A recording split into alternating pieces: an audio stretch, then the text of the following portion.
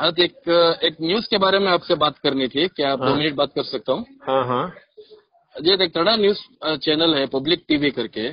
وہ صبح سے ایک نیوز دکھا رہی ہے کہ جو یہ جو آئی ایم اے کے ڈائریکٹر ہیں منصور محمد منصور خان یہ کچھ فیس بک میں آن لائن نظر آ رہے ہیں اور میسنجر کے ذریعے سے آپ کو کال کر رہے ہیں اور آپ سے رابطہ قائم رکھے ہیں کر کے ایسا کچھ میسج دکھا رہا ہے ایسی نیوز جی، جی۔ دکھا رہی ہے ہاں یہ خبر بالکل یہ جی۔ خبر جو ہے بالکل جھوٹی بے بنیاد ہے معلوم نہیں کس بنیاد پر وہ اس بات کو بیان کر رہا ہے اور پھیلا رہا ہے اس سے اس کا جی۔ مطالبہ کیا جا سکتا ہے کہ کس بنیاد پہ وہ یہ خبر دے رہا ہے دوسرے یہ ہے کہ اس قسم کے جو چینلز ہوتے ہیں عام طور پر وہ لوگ ایسے مواقع پر جب کوئی مسئلہ اٹھا ہوا ہوتا ہے کوئی گرما گرم بحثیں چلتی ہیں تو اپنے جی۔ چینل کے تعارف کے لیے یا اس کی تشہیر کے لیے اس طرح کی جھوٹی سچی خبریں پھیلاتے رہتے ہیں۔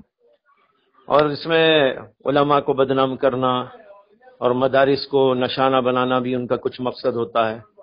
اس طرح کی وجوہات سے یہ لوگ کرتے رہتے ہیں۔ اس کے پیچھے کوئی صداقت موجود نہیں۔ اور دوسری بات یہ ہے کہ یہ میسنجر اور فیس بک وغیرہ کی جو بات کھو رہی ہے میں تو ان چیزوں کو استعمال ہی نہیں کرتا۔ استعمال ہی جب میں نہیں کرتا تو اس سے رابطے ہونے کا سوال ہی کیا پیدا ہوتا ہے۔ تو خلاصہ یہ ہے کہ یہ بالکل جھوٹی اور بے بنیاد خبر ہے۔ جی ہاں۔ جی اور- جی جی۔ جی اسی سلسلے میں وہ واٹس اچھا، ایپ کے اچھا۔ ذریعے سے بھی یہ۔ بات چل رہی تھی۔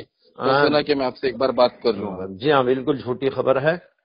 آپ اطمینان رکھیں۔ جی ہاں۔ اور عجیب بات یہ ہے کہ بعض جھوٹی خبروں کو جی۔ پھیلانے والے پھیلاتے بھی رہتے ہیں۔ کوئی بھی نیوز چینل والا یا کسی بھی اخباری بیان دینے والے نے کوئی بھی بیان دے دیا تو لوگ اسے جو ہے آگے کرنا شروع کر دیتے ہیں۔ حدیث میں آتا ہے کہ نبی اکرم صلی اللہ علیہ وسلم نے فرمایا کہ کفا بل مری کزیبا نہیں حدیث ما سمیا کسی آدمی کے جھوٹا ہونے کے لیے یہ بات کافی ہے کہ جو سنے وہ بیان کر دے بلا تحقیق۔ تو اس طرح کے کچھ لوگ ہوتے ہیں اس کو پھیلاتے رہتے ہیں۔ تو بہرحال آپ میں- رکھیں کہ بالکل جھوٹی خبر ہے اس کے پیچھے کوئی سچائی نہیں۔ اور پھر ابھی تھوڑی دیر پہلے وہ ٹی وی چینل والے خود میرے پاس آئے تھے۔ ابھی دس پندرہ اچھا۔ منٹ پہلے کی بات ہے کہ اسی ٹی وی چینل کے لوگ میرے پاس آئے۔ اور انہوں نے کہا کہ ہم کو ایک خبر ایسی کہیں سے ملی تھی، کوئی آدمی کیا؟ وہ کون آدمی ان کو خود پتہ نہیں ہے۔